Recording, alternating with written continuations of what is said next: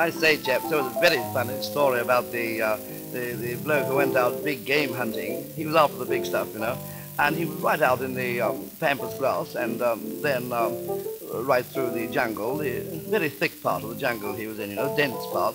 And um, just he was coming at the top, you remember the, um, the, the jungle, just by that little wicket gate, uh, he came out into a clearing, you see, and uh, in front of him uh, was a very big lake.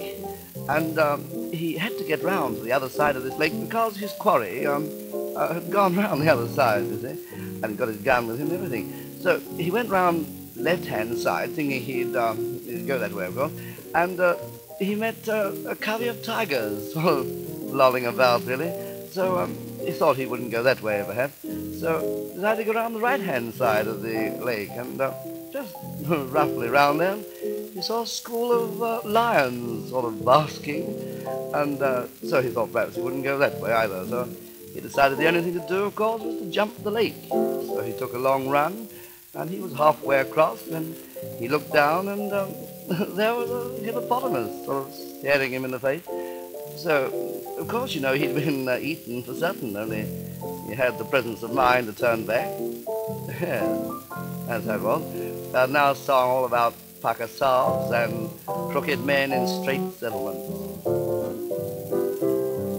A word, you ancient Britishers, a word allow us, please, about our island story and the flag that's in the breeze. A song of our inheritance, of blokes who follow through and carry on and blaze the trail and wave their torches too. Let's talk about our history of all our gallant knights. Crusaders in tin trousers who stood up for their rights. As the BBC say, Dieu et mon droit witch. Thank heaven we have Britons out in Burma in the bars, keeping up the old traditions.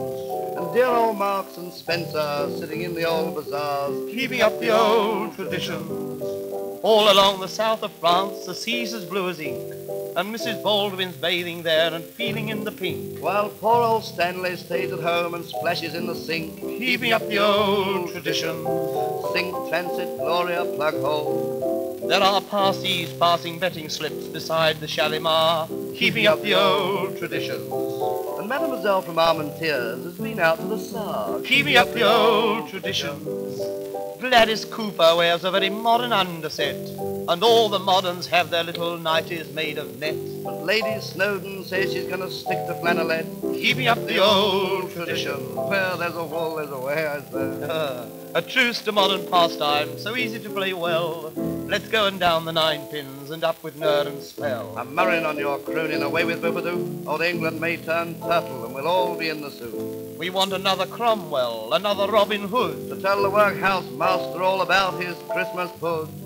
Up the casuals. The latest flats in Tennessee have roses round the door, keeping up the old traditions. Mr. Drage is laying lino down the Polish corridor. Keeping up the old traditions. When she sees a nudist, Lady Oxford always grieves.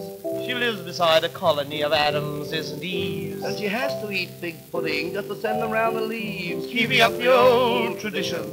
Not this side, please. In the Commons, Hore-Belisha was looking very blue. He said, I want a knighthood. They said, what did you do? He simply shouted beacons, and they said the same to you. Keeping up the old tradition. That'll be all.